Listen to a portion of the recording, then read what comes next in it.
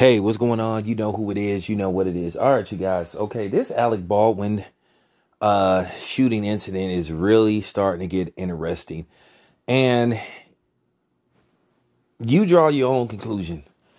Now, apparently, what supposed had happened was it was just flat out live ammunition in the gun. Now, what supposed had happened was they went out shooting uh, target practice somewhere in New Mexico and they used live ammo. Now, somehow, some way, some of that live ammo made it back to the set of the movie and they did not check the weapons or did they check, you know, the gun. So basically, what happened was somebody was very irresponsible and negligent and didn't do their job. And now somebody is dead.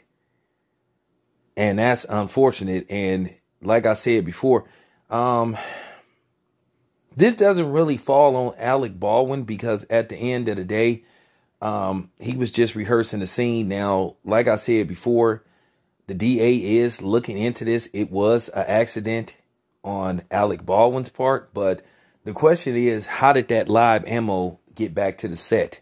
Now, as I said before, if you're a military expert and you know about uh, blanks, ammunition, and all that stuff, and if you actually worked on a Hollywood set in regards to gun safety, um, hit me up. I will bring you on because this is very intriguing because I would like for you to explain to my, you know, audience how does this work and how could something like this had happened and also how it could have been prevented because this sounds this sounds ludicrous. For them to bring live ammo back to the set. Now, we were thinking that maybe it was a, a blank or a dud, but it was actually live ammo.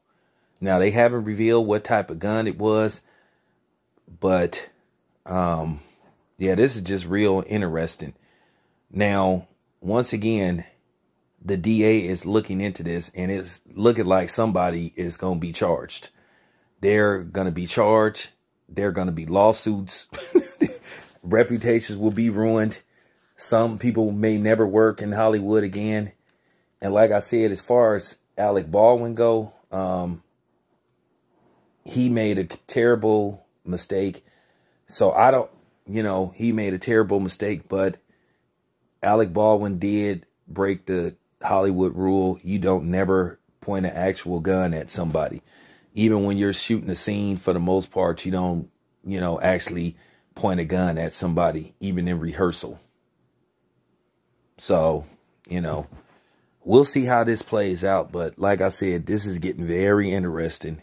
Anyway, this your boy Town Biz. I'm out.